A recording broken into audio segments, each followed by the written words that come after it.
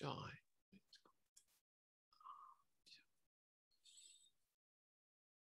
Insomma, quindi recording. Ok. Quindi registriamo. Uh, ok. Eh, mi è venuto in mente nella pausa, ecco, non vi ho fatto vedere cosa capitava nel momento in cui toglie, avessimo tolto la wait, no?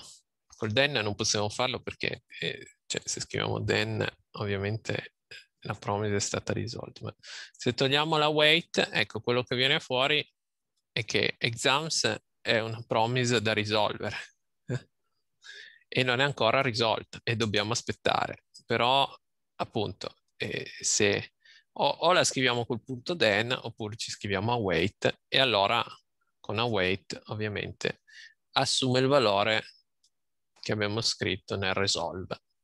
Se tutto è andato bene, se non assumerà il valore, no, non assume il valore reject, con la wait viene fuori un'eccezione.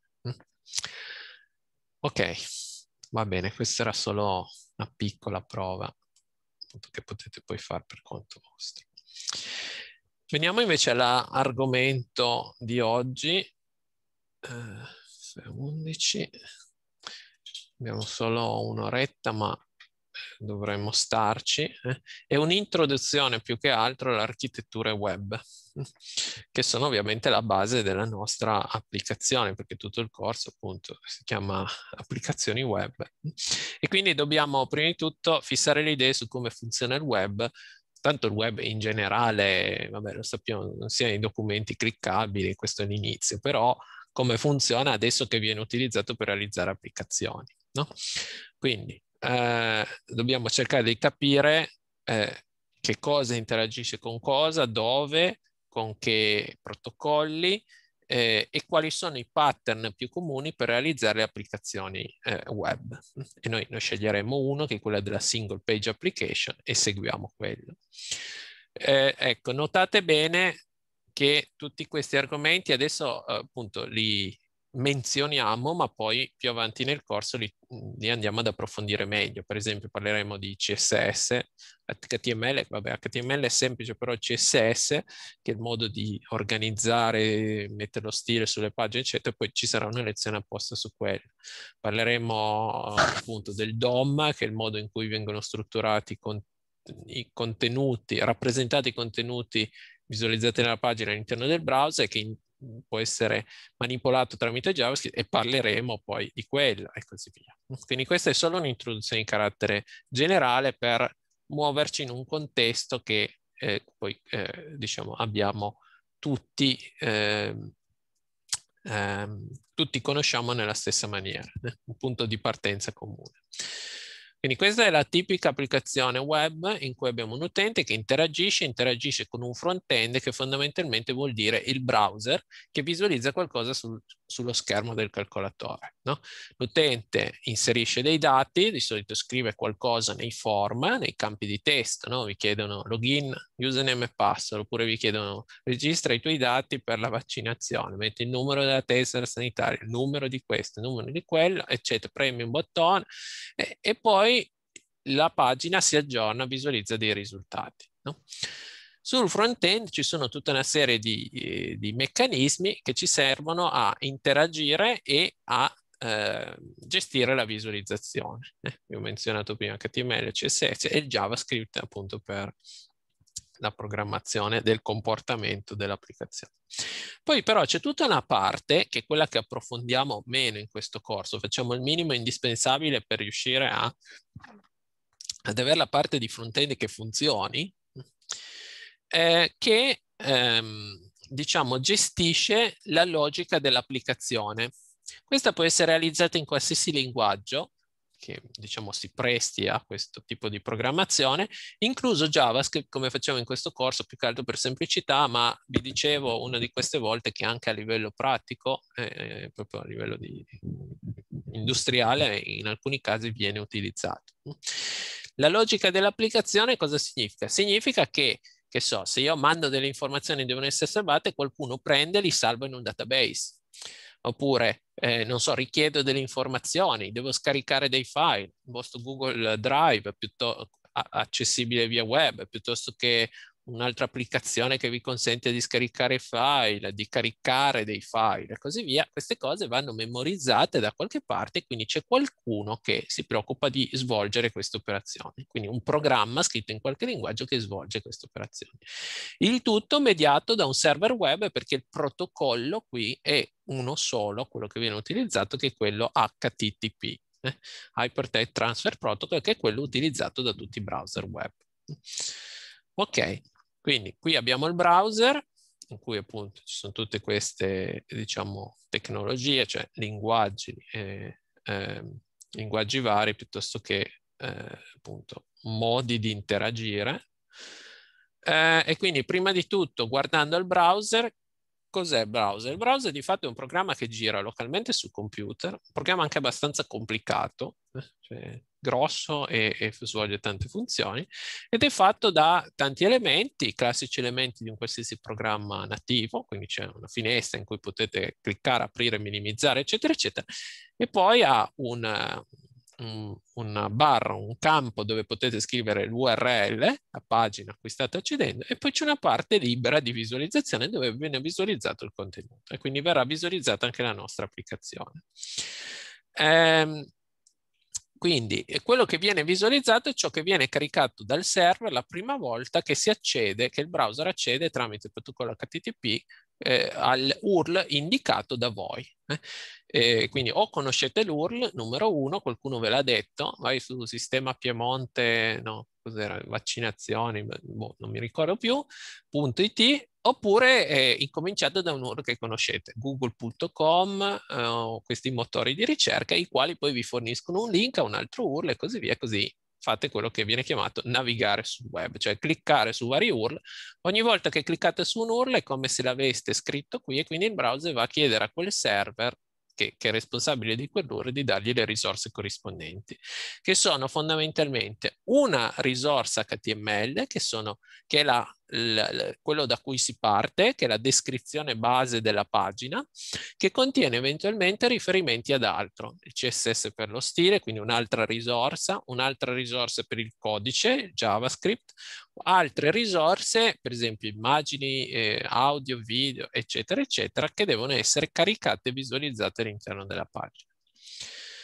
Eh, queste risorse possono essere fisse, immagazzinate, come tipicamente eh, sono le immagini, no? qualcuno le, le, ha messe e, e, semplicemente le scarichiamo, oppure anche generate dinamicamente dal server, come succede spesso per l'HTML, eh, quindi per la costruzione della pagina. No? Eh, questo però è più una questione di filosofia di come creare il, eh, il contenuto e, e, rientra più nell'applicazione web di cui diciamo tra poco.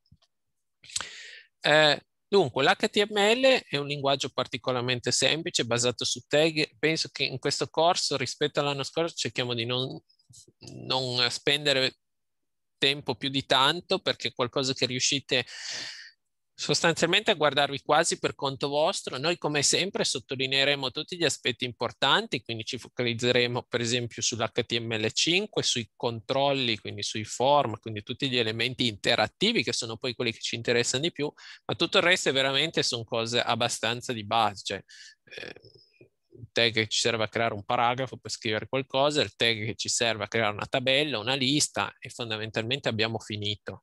Perché? Perché poi tutta l'impaginazione, tutta la gestione avviene con un sistema diverso.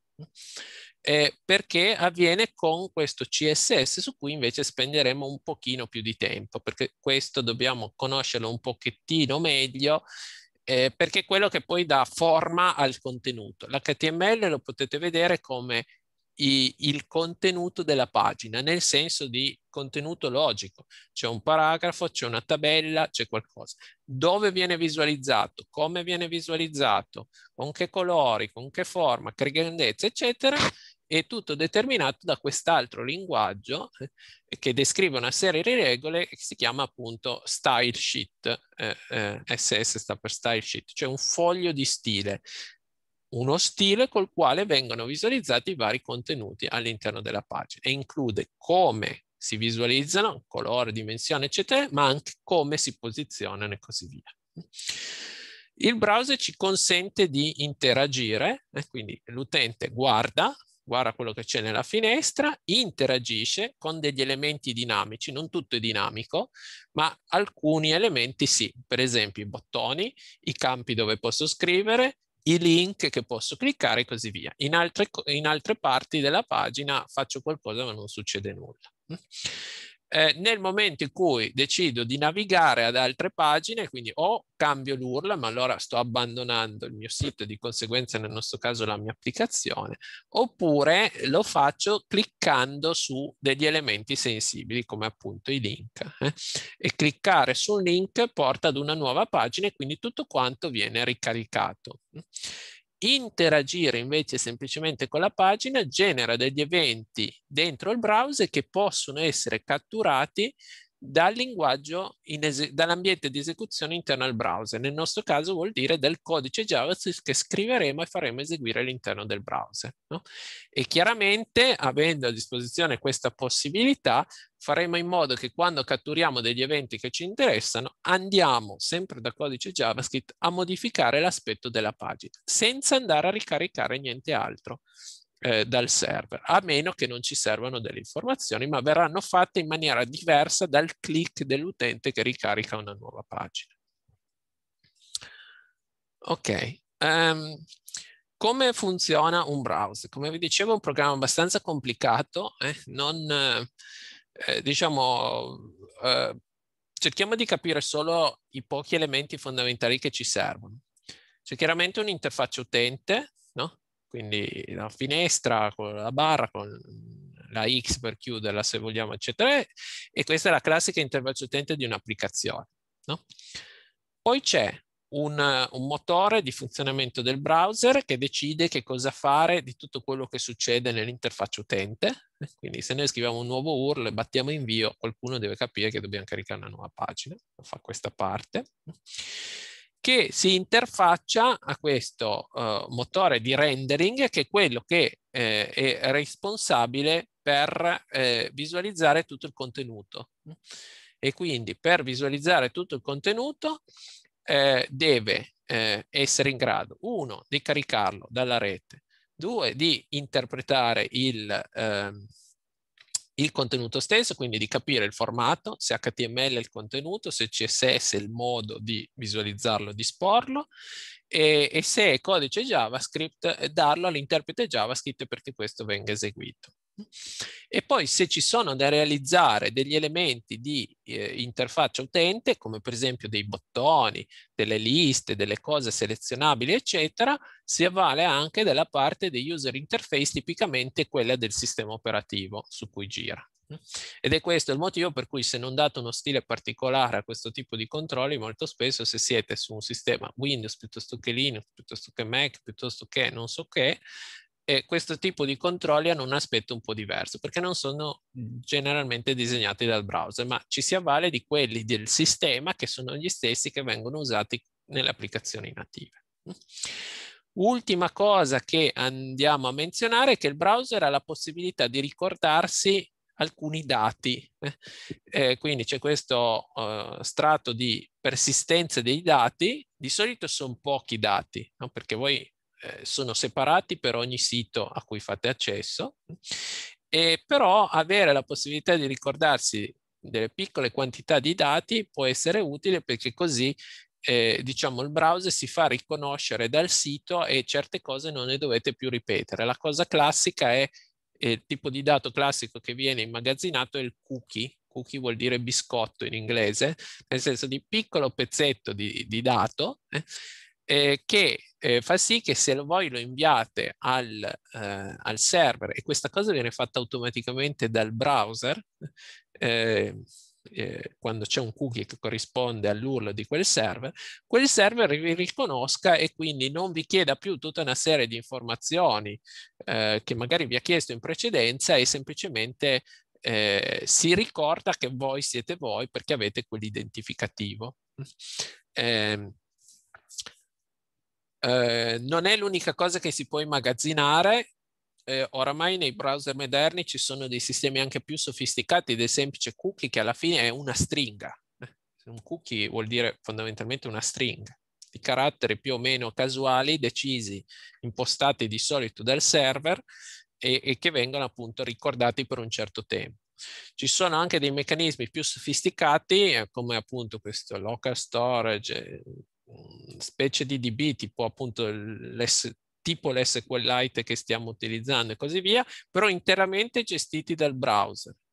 Eh, che noi praticamente non utilizzeremo in questo corso, ma ogni tanto nelle applicazioni può essere utile averli perché così consentono a certe applicazioni di funzionare anche in maniera offline. Sapete, per esempio, se utilizzate, che so, Google Doc o qualcosa di questo simile, ogni tanto vi dice, ma vuoi utilizzare questo documento offline? Sì, ok, clic. Che cosa succede? Succede che un po' di dati vengono immagazzinati localmente al browser, che se voi non avete la rete non potete andare a chiedere informazioni al server. Chiaramente se volete vedere qualcosa eh, dovete prenderlo localmente, no? non c'è alternativa, però deve esserci un posto sicuro dove andare a immagazzinare le informazioni in una maniera che siano accessibili dal browser. Notate bene che il browser, eh, cioè il codice che gira nel browser deve essere abbastanza isolato da tutto il resto del sistema, perché altrimenti qualsiasi codice scaricato da chissà quale sito potrebbe andare a come dire, accedere alle informazioni che girano, che ci sono presenti nel vostro computer locale. Chiaramente questo non è un bene. In tutti i browser, questo l'abbiamo già visto, sono presenti degli strumenti di sviluppo che noi andremo ad utilizzare in caso di necessità. Eh, per esempio, prendiamo il sito, ecco, portale della didattica, questo il mio portale della didattica. In ogni browser c'è un posto diverso dove sono a disposizione questi strumenti di sviluppo. Questo è Chrome, Developer Tools. Eh, a destra, a sinistra, sotto, non lo so, ecco, dipende. Abbiamo la console JavaScript, abbiamo tutte le risorse caricate dal sito, abbiamo a disposizione, eh, diciamo, possiamo sapere, eh, ecco, proviamo a cliccare su applicazioni web, tutte le richieste di rete che vengono effettuate, no? tutte le cose che vengono caricate e così via. Cioè, possiamo fare il debug completo della nostra applicazione anche perché possiamo andare a isolare e vedere a che cosa corrisponde ogni singolo elemento. Questo è HTML, l'HTML della pagina, eh, visualizzato anche in una maniera comoda perché appunto gli elementi si possono aprire, chiudere, eccetera, e, e si può visualizzare passandoci a sinistra qual è il codice a destra e viceversa. Eh? Quindi è molto co e qui vedete le regole CSS, eccetera. Quindi sappiate che c'è questo strumento e c'è in tutti i browser eh, questo non è un, il browser speciale che ho scaricato perché ha questi strumenti, c'è semplicemente in tutti i browser. Eh, quindi è, è incluso e, e, non avete bisogno di installare niente di diverso dal browser standard. Solo che chiaramente se non siete sviluppatori, come invece siete voi, eh, l'utente normale non se ne fa nulla quindi non sa neanche che esiste questo menu.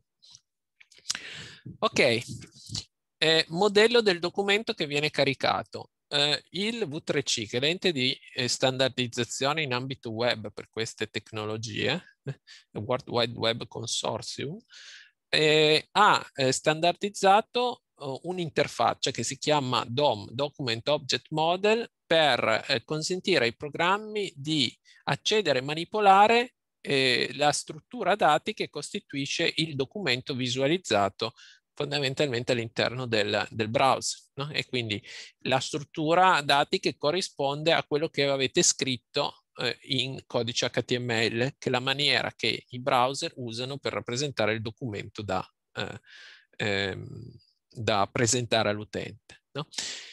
È supportato da tutti i browser, ci sono diverse versioni, però eh, diciamo oramai siamo giunti a un punto in cui c'è un, un, modello uh, abbastanza ehm, come dire, sofisticato e ci consente di fare una serie di operazioni abbastanza sofisticate direttamente anche dal codice, ops, dal codice JavaScript. Quindi eh, aver standardizzato l'interfaccia di gestione del DOM ci consente di usare codice, eh, in particolare JavaScript, per manipolarlo. E perché è importante farlo? Perché tramite il codice JavaScript noi vogliamo, sulla base delle interazioni con l'utente, andare a modificare quello che c'è presente nella pagina.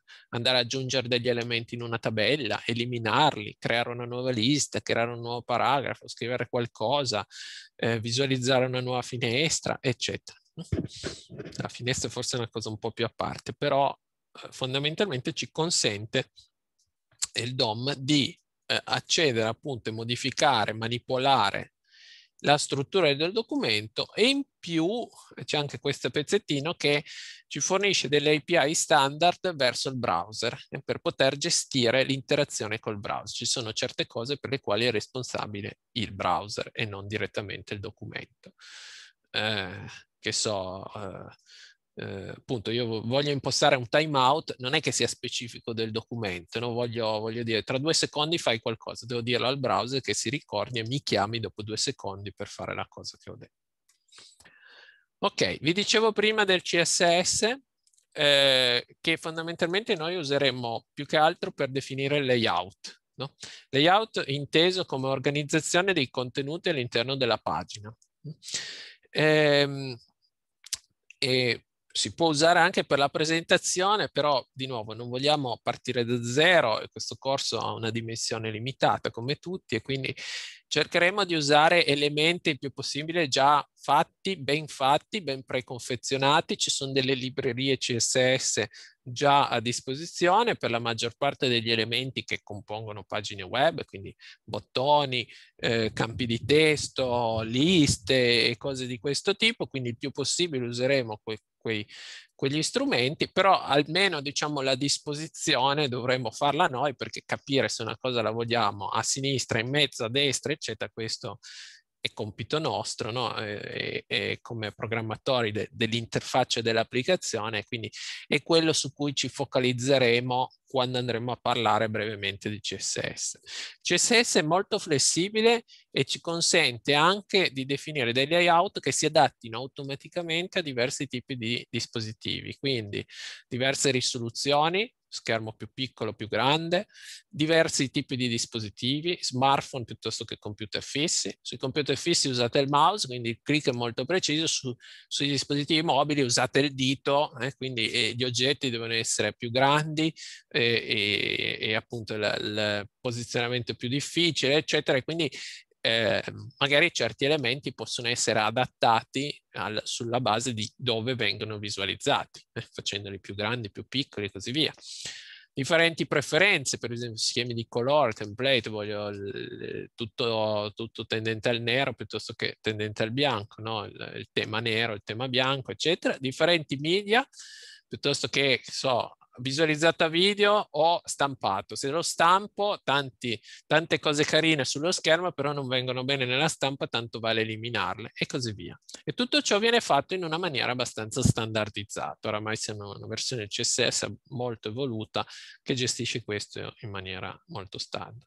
Questo è una piccolo preview di quello che vedremo nel CSS. Il CSS è semplicemente un insieme di dichiarazioni oppure chiamiamole regole, che vengono applicate a dei selettori, cioè degli elementi HTML, eh, che eh, quindi ne determinano l'aspetto e la, la, posizione, insomma tutte queste proprietà che sono predefinite nel CSS che possiamo andare a impostare. Quindi che so, questo è l'heading, quindi la, come si dice in italiano, il titolo o sottotitolo di, di, una sezione e diciamo che la vogliamo in colore blu e di font 12 punti, quindi una certa dimensione e così via. Ma abbiamo, ci sono tantissime proprietà eh, che eh, possono essere impostate al CSS, oltre a quelle di posizionamento e così via, eh, che invece sono quelle che ci interessano di più perché appunto noi andremo a cercare qualcosa di già fatto per, per non metterci lì a, fondamentalmente a fare i designer dal punto di vista dell'interfaccia invece di concentrarci sulla logica dell'applicazione che è quello che interessa in questo corso. Il JavaScript viene caricato come una delle tante risorse nel momento in cui viene caricata la pagina HTML. Vi ricordo, URL, URL corrisponde a qualcosa che deve essere un contenuto HTML. Il browser prende questo contenuto HTML, lo interpreta e lì ci saranno dei riferimenti al CSS, al JavaScript e alle altre risorse, immagini, video, audio, quello che volete. Bene, eh, il JavaScript eh, viene appunto caricato nel momento in cui è previsto del, dall'HTML che viene eh, caricato dal browser a fronte di un certo URL che abbiamo messo o cliccato e viene eseguito all'interno del browser in una sandbox, cioè in un ambiente molto isolato, che per esempio non consente di accedere a, eh, diciamo, a um, elementi al di fuori del browser stesso, per esempio al file system del computer perché altrimenti chiunque potrebbe prendere e, e eh, andare a girare sul vostro file system che è sicuramente qualcosa che non, non desiderate no? nel momento in cui accedete a un sito e questo vi scarica un programma senza che magari neanche lo sapete, lo sappiate come capita nel momento in cui accedete a un nuovo sito. No? Non è che andate a vedere tutto il JavaScript che viene caricato, però avete diciamo, questa sicurezza del fatto che il browser impedisce automaticamente di effettuare certe operazioni. Non è possibile da parte di JavaScript effettuare certe operazioni. Eh, per esempio, eh, tranne appunto casi, no, in nessun caso particolare, eh, può, possono essere effettuate richieste di rete, ma solamente verso il sito dal quale avete scaricato il codice JavaScript e così via. Quindi ci sono tutta una serie di limitazioni abbastanza strette eh, proprio per evitare che chiunque scriva un programma poi vi induca ad andare sul suo sito, scaricate JavaScript localmente e questo può andare a fare delle cose che poi non desiderate e non vi aspettate. In compenso il JavaScript può eh, accedere facilmente con, in modalità sia di lettura sia di scrittura alle API del browser, come dicevamo prima, quindi eh, vedere cosa, eh, cosa, mette a disposizione il browser, eh, eh quindi c'è tutta una serie di, di come si dice, di informazioni relative al browser che possono essere rilevate. Per esempio, qual è la dimensione della finestra di visualizzazione corrente, che potrebbe essere utile questo è solo un esempio, eh, timer, impostare dei timer come dicevamo prima e così via.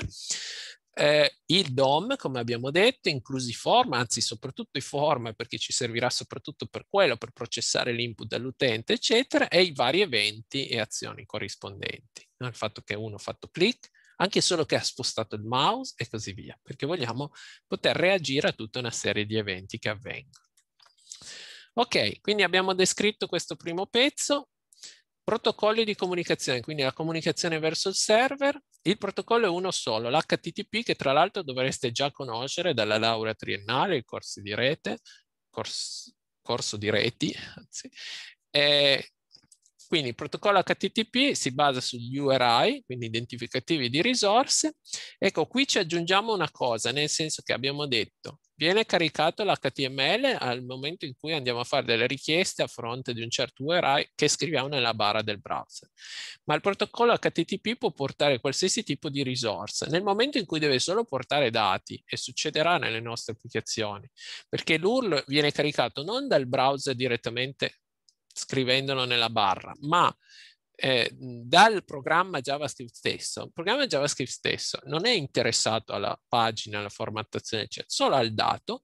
Bene, ci sono molti modi di trasportare questo tipo di dato e noi useremo uno dei modi più comuni che è quello formato testo, eh, cosiddetto JSON, su cui anche su questo torneremo. Questo è il protocollo HTTP.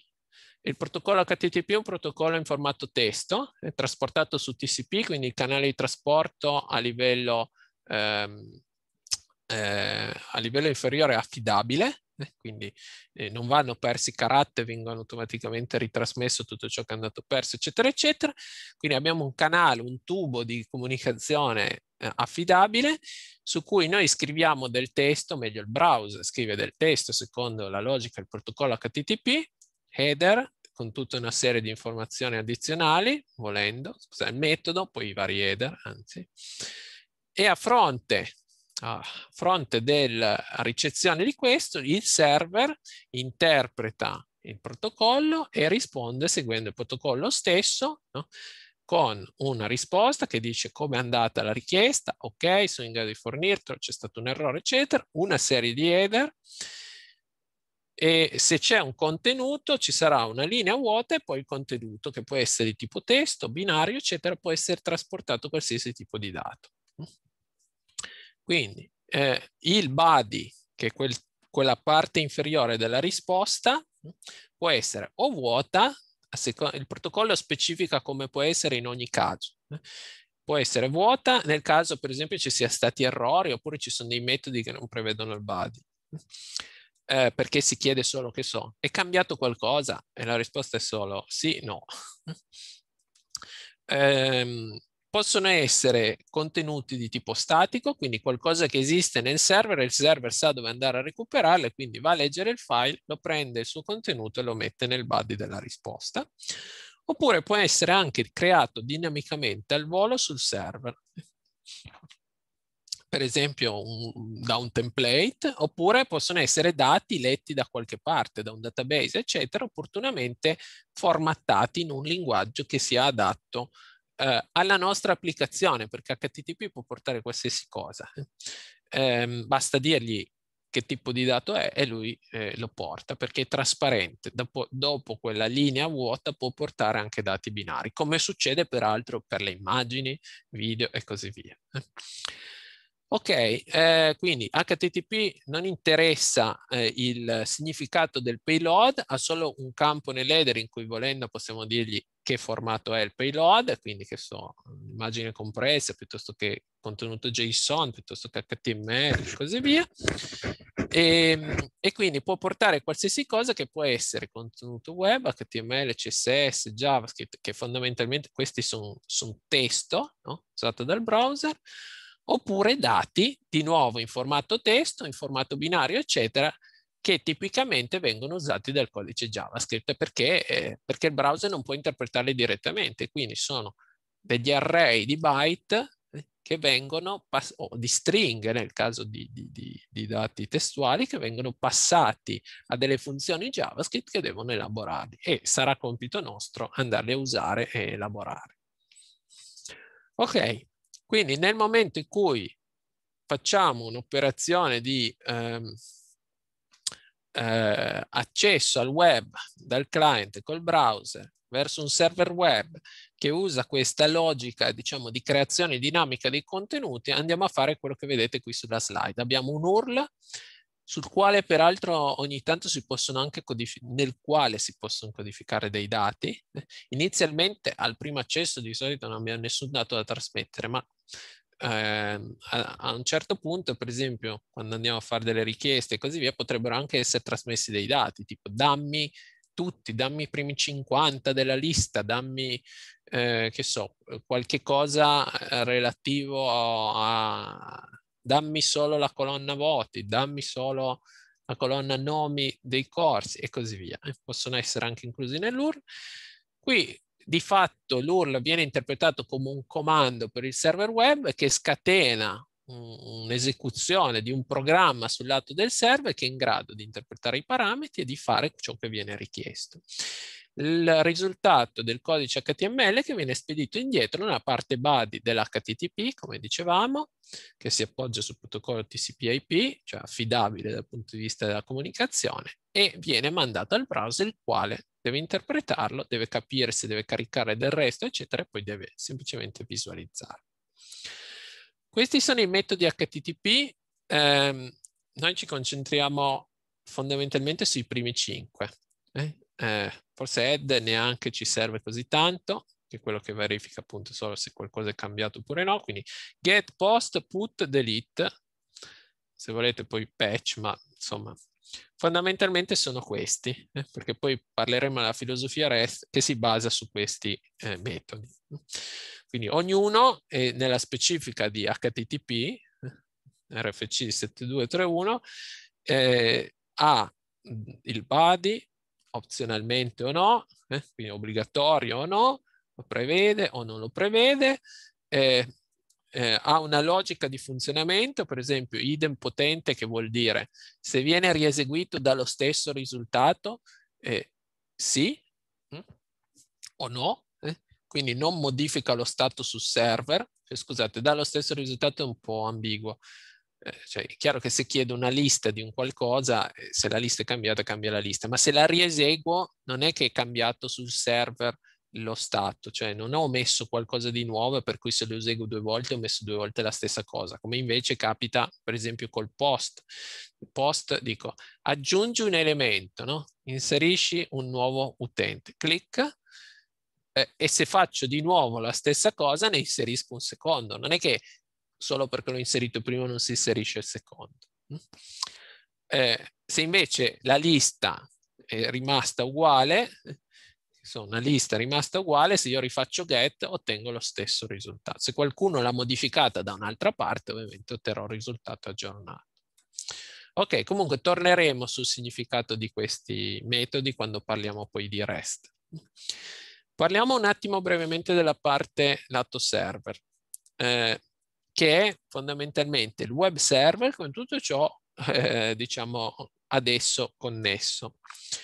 Il server è in grado di servire le pagine HTML, quindi di dare quel contenuto HTML da cui il browser parte per interpretare il contenuto della pagina, ma è in grado anche di servire tutte altre risorse, in particolare i file eh, ai quali ha accesso e che sono stati mappati nella configurazione del server web su certi URL. Perché il server web deve sapere come, come interpretare l'URL e cosa farci con questo URL se qualcuno gli ha detto guarda gli URL che iniziano in una certa maniera sono file e quindi prendi la seconda parte e vai a cercare un file con quel nome. Ok, il server web andrà a cercare quel file e lo restituisce nel body della risposta.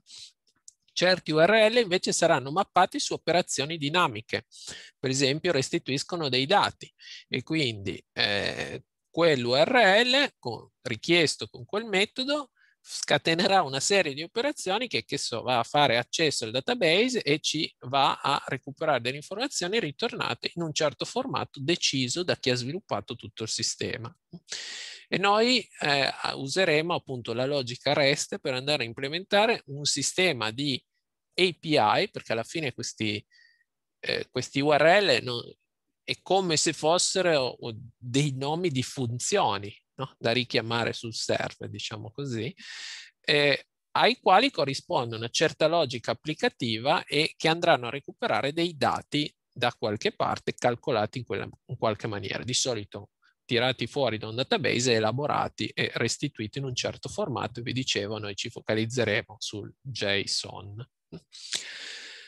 Um, ok, ma riparleremo di questo. L'importante è capire l'architettura in, in questo momento, in, la, la, cosa su cui ci stiamo focalizzando, eh, l'ambiente, e poi approfondiamo i vari aspetti.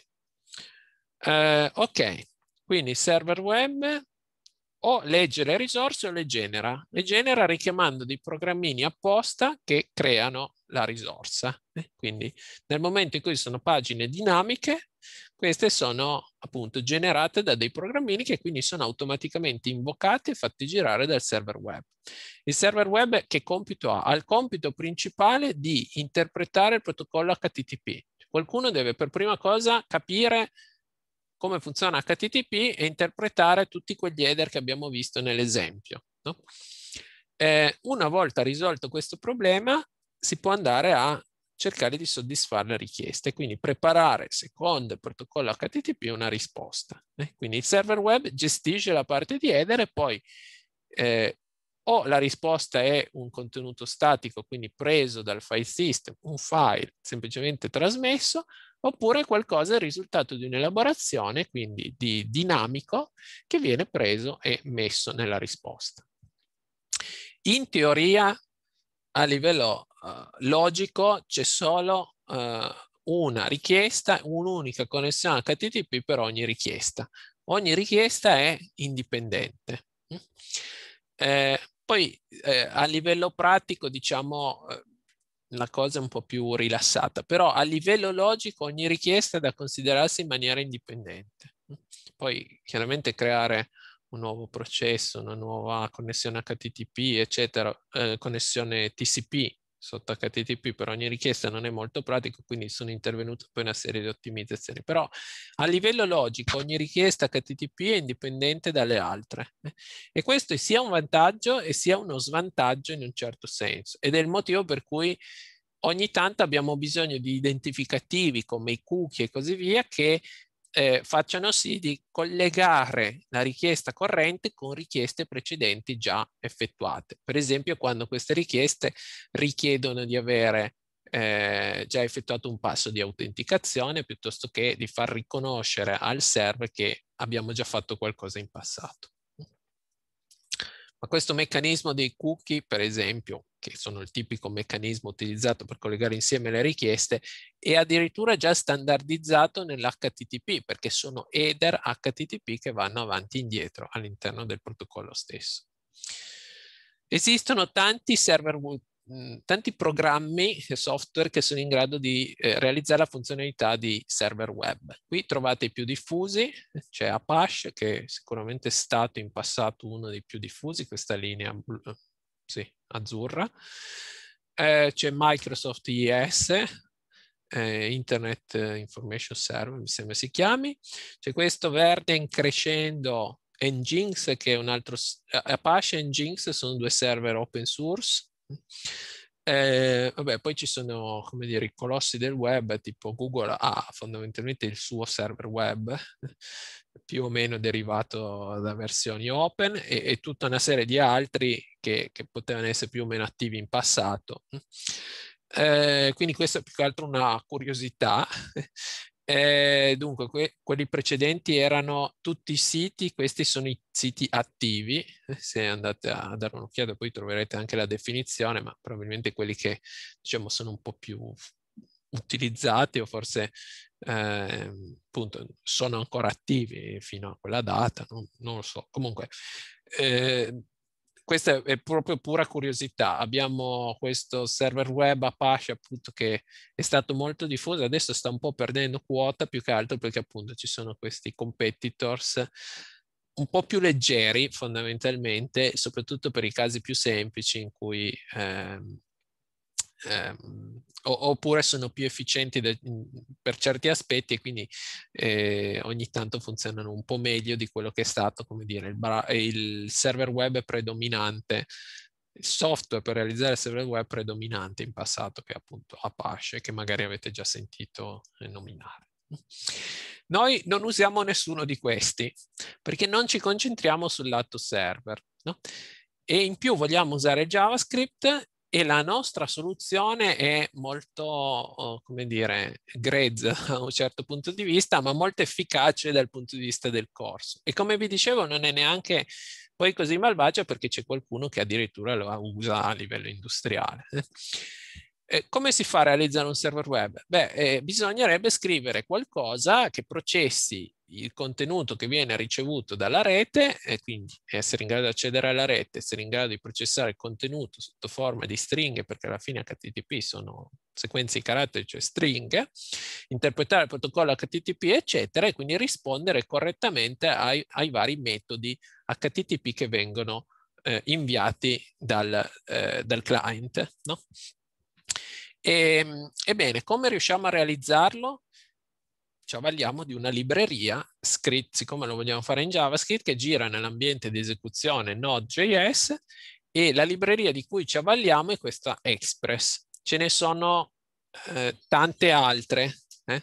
Eh, noi però abbiamo scelto questa perché è una delle più semplici, non è la più semplice perché c'è già un modulo HTTP dentro Node, però è veramente questo troppo di base, non, non ci basta.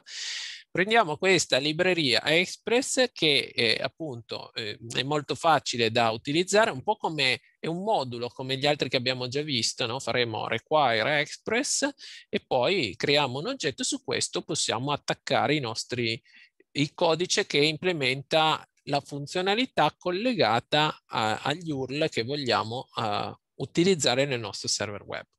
Ma su questo ci eh, ritorneremo. E tra l'altro è molto facile da estendere, da utilizzare, eccetera, e già viene con tutto quello che ci serve per realizzare eh, lo scambio di informazioni che, ehm, di cui abbiamo bisogno nelle nostre applicazioni web, in particolare per esempio processare il, il contenuto in formato JSON, eh, sia quando questo viene inviato dal client al server, per esempio quando ins vogliamo inserire delle nuove informazioni sul server, sia quando questo deve essere restituito indietro e così via. Quindi con pochi altri moduli aggiuntivi che vedremo mano a mano, riusciamo a integrare il server web e farlo funzionare proprio con due o tre linee di codice molto semplici eh, eh, e farlo funzionare con i formati di dato che vogliamo andare ad utilizzare. Interpretare i parametri delle richieste, eh, degli URL di richiesta e così via. Comunque quando sarà ora ci, ci torniamo sopra. Eh, ecco, ultimo elemento, di nuovo non ci focalizziamo più di tanto su questo, è che il server web, che noi abbiamo detto realizziamo in questa maniera, eh, deve poi interagire con la parte di, um, eh, come si dice, di, eh, di, che, che, immagazzina i dati. No? E, e questa parte di solito è o il file system o un database. Eh, il file system, diciamo, per le risorse statiche è la cosa più semplice, inutile mettere in un database una risorsa statica che è semplicemente un file. Un database ci consente di fare delle elaborazioni di dati, come abbiamo visto negli esempi visti finora, che so, i, la lista degli esami, i voti presi ai singoli esami e così via. No?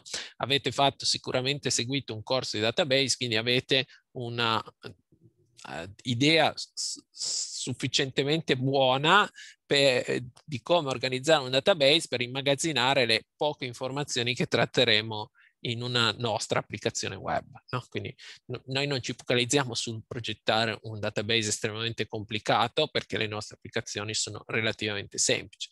Certo bisogna sapere, diciamo, organizzare il database, nel senso che appunto, come nel caso di eh, corsi, esami, vabbè, eh, dobbiamo arrivare al fatto che eh, dobbiamo fare una tabella corsi e una tabella esami perché, perché eh, un corso può essere seguito da più di una persona e quindi se vogliamo mettere eh, gli esami collegati a una persona, quindi ci servirà una terza tabella con, con, con gli studenti eh, e, e dobbiamo essere poi in grado di scrivere delle semplici query come abbiamo già fatto, no? con, con, una join che siano in grado di mettere insieme due tabelle, tipicamente due sono sufficienti, eh, con, sulla base di una condizione no? che magari è l'identificativo so, dell'utente o del corso e, e, e andare a tirare fuori le informazioni che ci servono con una select, fare le insert e così via. Cioè cose veramente di base, eh? non, non vogliamo fare una cosa complicata a questo lato.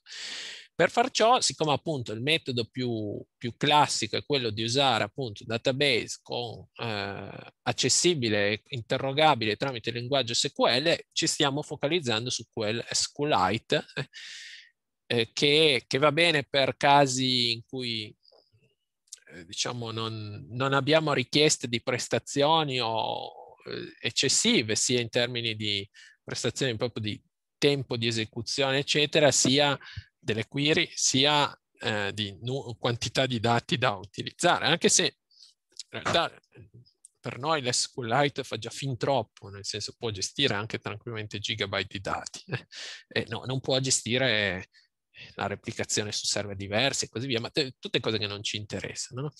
Comunque c'è, il database, eh, scusate, il web server deve essere in grado di accedere ad un layer cosiddetto di persistenza dove i dati vengono mantenuti.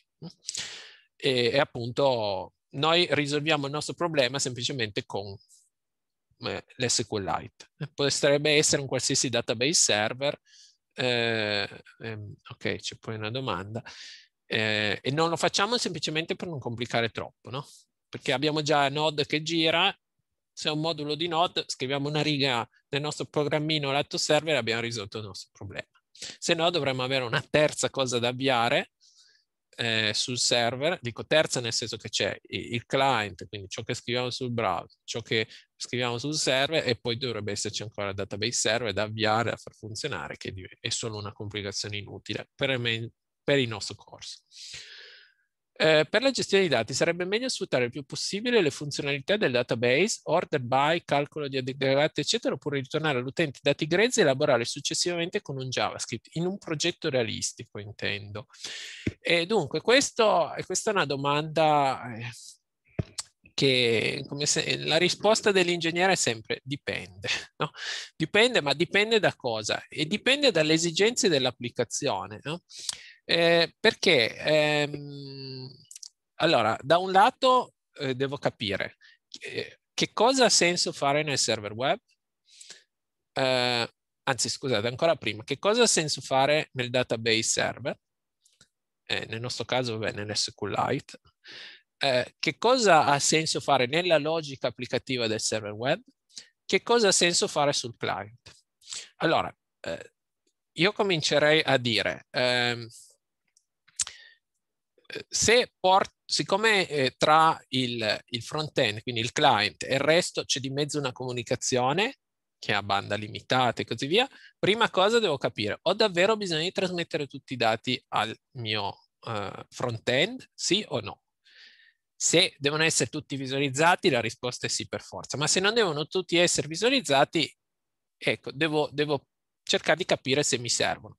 Se a un certo punto l'utente clicca e vuol vederli tutti, cosa faccio? Decido che se li ho già caricati è meglio o eh, decido che andrò a chiederli al bisogno?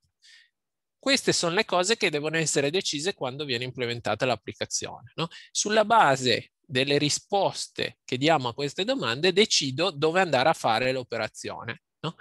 Cioè, eh, se tanto so già che finisce che ho bisogno di tutto, e allora tanto vale che do tutto. E poi se c'è da fare una visualizzazione più compatta, la farò sul, sul client, quindi nel front-end.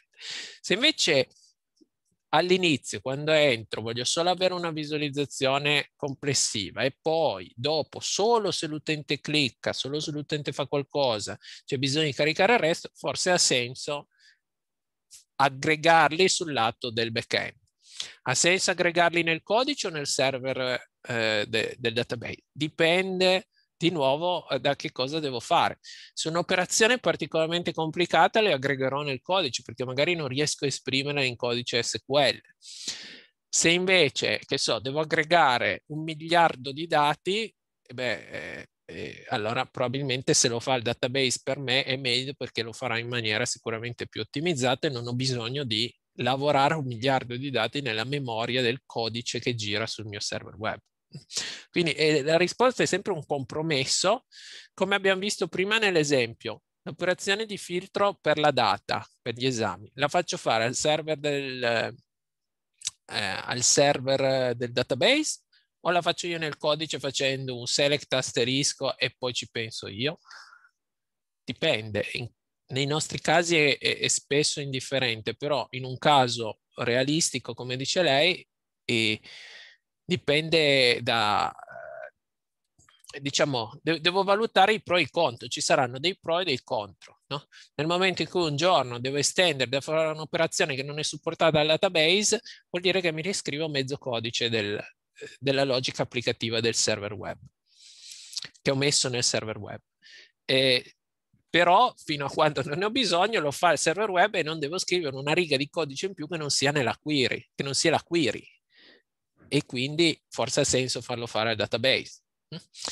Ehm, e quindi bisogna un po' eh, porsi questi problemi che è proprio uno degli scopi eh, del corso. No? Noi non andremo a realizzare un'applicazione enorme, però diciamo questi trade-off bisogna porseli, cercare di ragionarci sopra e decidere che cosa ha senso fare. No? Un'altra cosa che su cui si può ragionare, per esempio, sì, quando i dati sono pochi, è anche ha senso esporli all'utente o no? Cioè io se realizzo un'applicazione, eh, voglio, voglio che l'utente se va a trafficare, a vedere che cosa passa sulla rete, a aprire l'inspector del browser, eccetera, sia in grado di vedere tutti i dati che io ho nel database o gli fornisco sempre solo i dati minimi di cui ha bisogno quando c'è bisogno che eh, li visualizzi? Perché cioè, i dati magari sono fatti miei della mia applicazione, non voglio che siano esposti a tutti semplicemente e, e poi filtrati sul client semplicemente perché bah, così scrivo scrivo il codice in maniera più semplice. Cioè ci sono anche aspetti pratici collegati non solo alla tecnologia, eh, ma anche al fatto che certe cose non devono arrivare eh, nelle mani di, di certe persone, dell'utente normale, a meno che non sia quello l'amministratore del mio sito e così via. Eh, ok, spero di aver risposto abbastanza a questa domanda, anche se appunto la risposta dipende, però bisogna porsi questi quesiti e cercare di dare una, una soluzione che sia ragionevole, no? che non, non, ci complichi troppo il codice, ma allo stesso tempo abbia senso nel nostro scenario applicativo. Ok, bene. Eh, per effettuare la comunicazione tra front e back-end utilizzeremo, potremmo utilizzare librerie di JavaScript, ad esempio Axios. Sì, questa è una domanda molto specifica. Eh, eh, sì, direi che non c'è nulla di male nell'utilizzarla, ma vedremo che oramai eh, diciamo le, le librerie, eh, la, la, funzionalità a disposizione all'interno del browser standard che è la fetch, eh, di cui parliamo più avanti quando parliamo appunto delle API JavaScript nel browser, è già abbastanza sofisticata per i nostri scopi. È vero che Axios, come altre librerie, ci danno so, la possibilità di annullare la, la, la, la, che so, la la richiesta asincrona in maniera più semplice, tanto per fare un esempio. So che nessuno, se, se non conoscete Axios, sto parlando di una cosa che potete tranquillamente cancellare, no? Però, tanto per dire, eh, però magari è una funzionalità che eh, non usiamo nella nostra applicazione, oppure... Mm, eh, vabbè, magari siete appassionati di quella cosa lì, volete provarla, l'avete già usata, sviluppate già siti web per conto vostro e così via, va bene, eh, non c'è nulla di male nell'usare una libreria ehm, eh, diciamo che ci facilita alcuni compiti, anzi eh, nelle regole di esame è già scritto, credo, cioè anche da un certo punto di vista incoraggiato a sperimentare un pochettino, no? in questo senso, e chiaramente bisogna essere sempre consci di quello che uno sta facendo. Noi daremo delle indicazioni dove c'è necessità di usare qualcosa, lo diciamo, e dove mh, mhmm, non c'è necessità non diciamo nulla, però se, se, uno vuole provare ad utilizzare appunto qualche cosa messa a disposizione trova in rete, l'importante è che non ci si affidi a delle librerie sconosciute, instabili, eccetera, che dopo domani non funzionano più, che sono la versione 0.1 e così via, che appunto poi no, no, non so quanto risolvono il problema più che introdurne di nuovi. Però Axios ovviamente non è uno di questi casi. Ok, um, quindi ultima parte, pattern architetturali. Eh, quindi dato questo sistema, c'è il client, c'è il web server e c'è la parte di persistenza dei dati. Um, come faccio funzionare la mia applicazione? Il modo tradizionale fino a poco tempo fa, eh, a parte il caso diciamo estremamente eh, base che era quello tutto statico, quando hanno inventato il web, Tim Berners-Lee, quello del, del, CERN che ha inventato il web, aveva una serie di documenti statici, l'unica cosa che c'erano erano dei link da cliccare, Beh, quello caso statico, boh. C'era tutto il sistema, eh, eh l'area di persistenza era il file system, c'era un mapping uno a uno dall'URL al, al file, fine. Nel momento in cui vogliamo realizzare applicazioni web, eh, cosa succede? Succede che sul lato server ad ogni URL viene mappato un certo, eh, un certo programma da eseguire no? che mi genera del contenuto dinamicamente sulla base di quello che c'è nel layer di persistenza, nel database, in altre cose e così via. Altre cose dico che so, su server di email, eccetera. Voi accedete alla vostra email, il server web va a chiedere dammi la lista delle prime 20 mail, ve le formata in una tabellina e ve le dà in formato HTML. Questo è lo schema classico, no? Cioè URL, web, web server capisce che eh, deve andare a chiamare un programma, il programma fa le sue elaborazioni, produce un contenuto HTML che cambia a seconda di cosa ha trovato.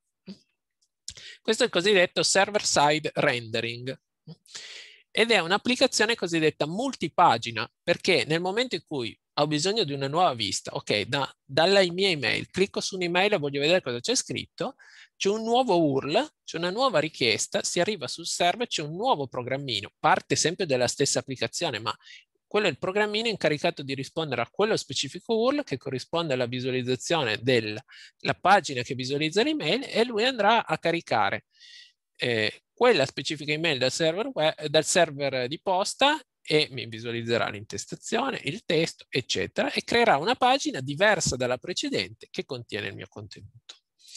Ok?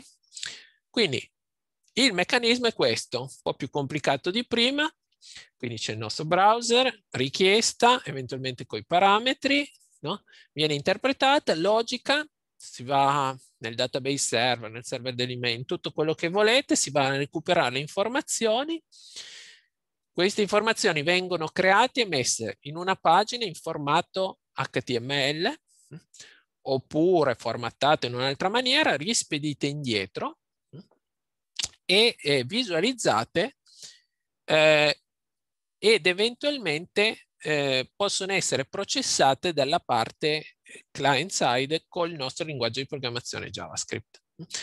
Eh, perché quello che vi ho detto prima, ok, è veramente la base, se vogliamo aggiungerci un pezzettino in più, eh, se in ogni pagina aggiungiamo del codice JavaScript, come in questo caso, eh, possiamo gestire una minima interazione con l'utente. E mano a mano questo paradigma si è evoluto eh, nel, modo di, eh, nel, nel senso di andare anche a modificare alcune parti della pagina.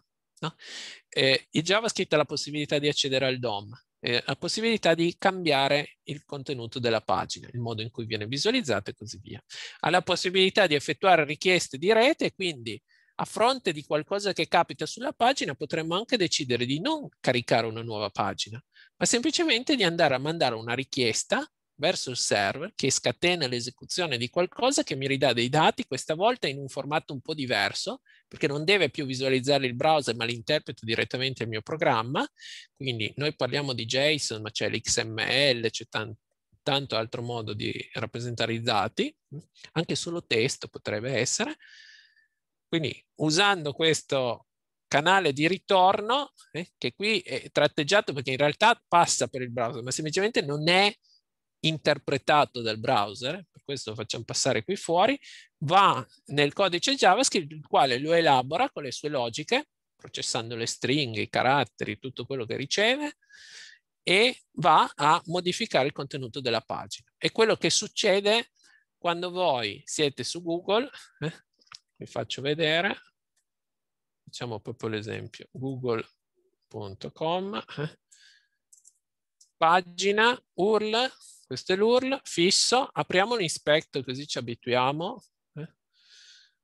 Network, questo è quello che viene caricato, eh. caricato della roba, vabbè ho caricato la pagina all'inizio, scrivo un carattere, notate che viene trasmesso qualcosa al server e questo viene fatto dal JavaScript e sta girando nel mio browser che sta reagendo degli eventi che io ho creato, l'evento di aver premuto un tasto viene mandato qualcosa al server, adesso non so quale sia, sì sarà questa, dell'informazione al quale il server mi ha dato una risposta e di solito la risposta è la lista delle cose da visualizzare.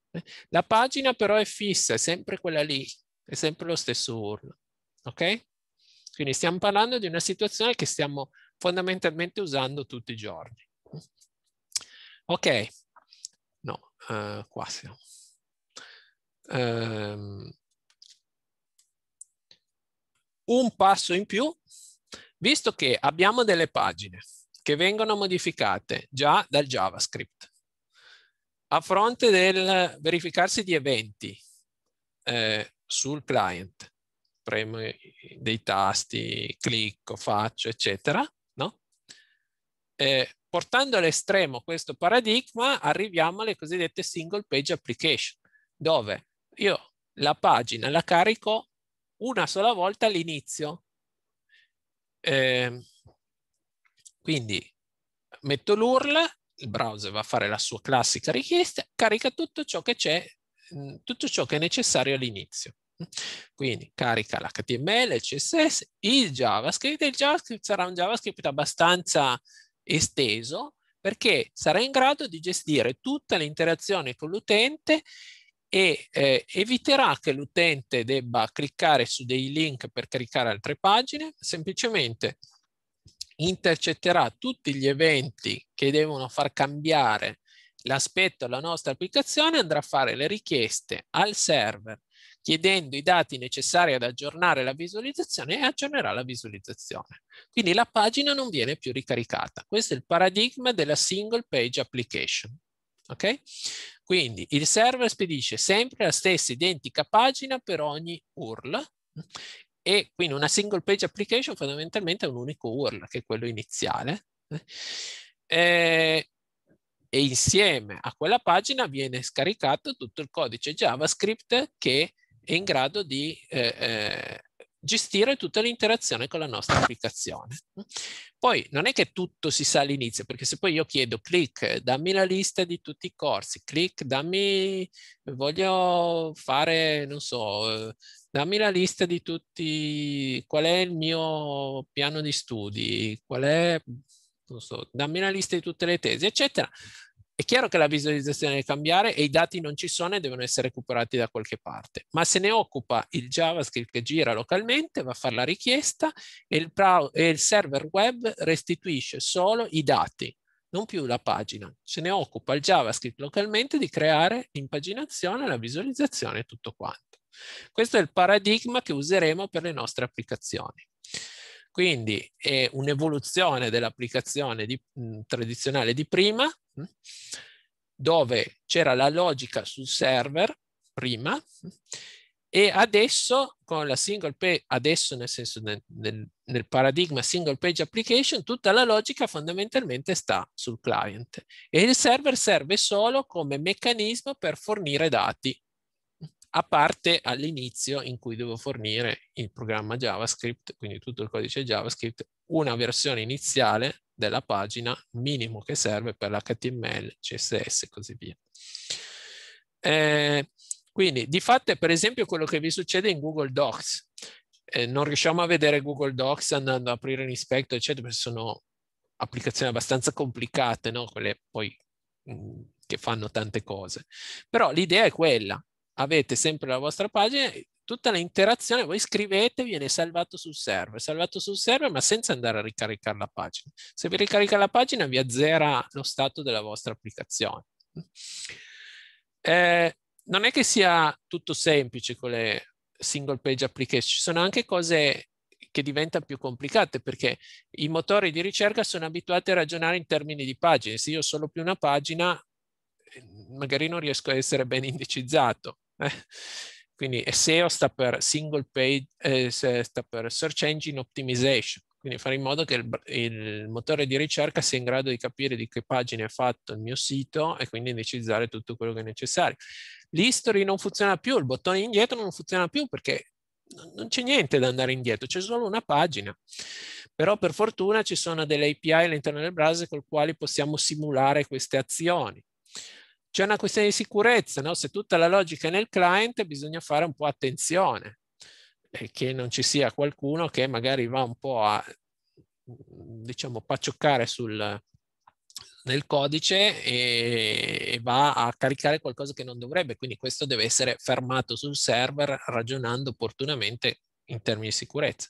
E poi fare tutto sul client può anche essere eh, faticoso dal punto di vista del client, perché ricreare tutta la pagina, cambiare tutto, eccetera, può anche essere faticosa.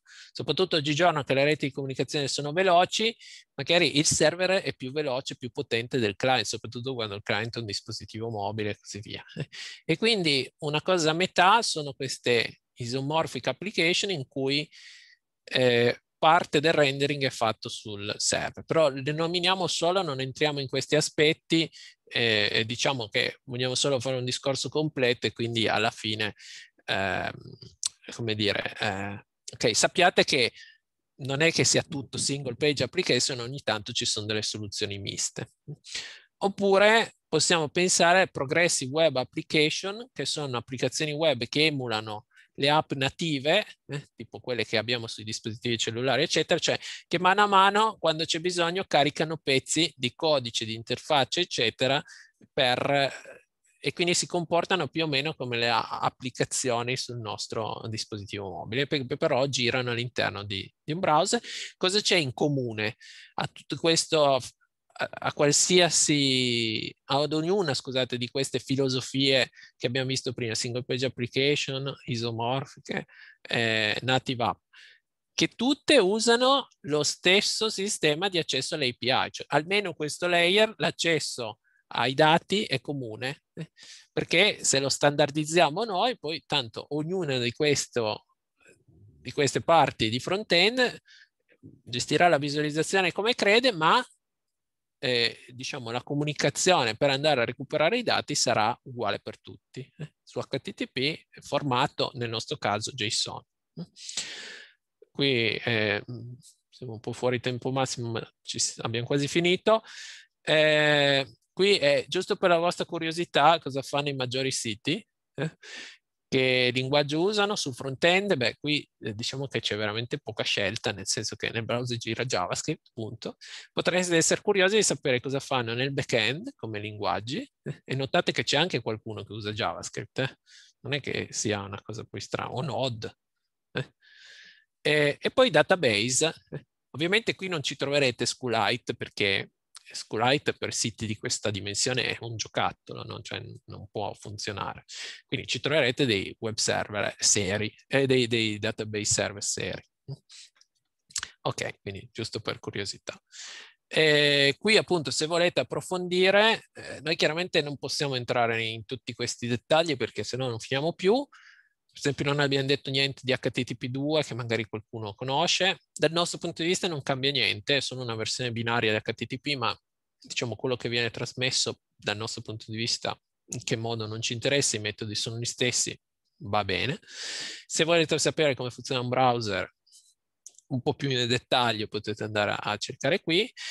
È sicuramente uno dei software più complicati che ci sono in circolazione su, nel, nei computer perché, perché, fa mille cose come, come, potete capire, cioè è programmabile ha dentro un ambiente di esecuzione per seguire altri programmi, quindi sicuramente un software complicato per natura.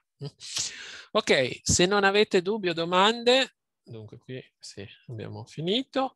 E ehm, io direi che possiamo terminare qui per oggi. Vi ricordo lunedì c'è il laboratorio e adesso poi mandiamo qualche annuncio sul, sullo Slack, uh, quindi vado a vedere come sono, diciamo che squadra avete formato e cerchiamo di schedulare queste squadre eh, nei due turni di laboratorio. Se poi ci sono dei problemi o qualcuno ha problemi di orario o altri tipi di problemi, insomma scrivete, ci fate sapere in qualche maniera e vediamo di, di sistemarli.